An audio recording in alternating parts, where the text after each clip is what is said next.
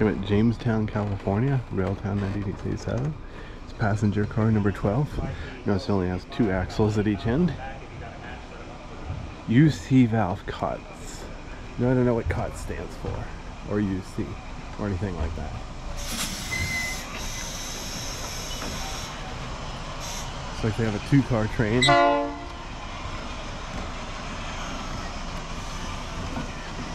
And here's passenger car number 597. Notice the window's actually open and they got a pretty wide open area here. Not sure if the tickets are all the same price.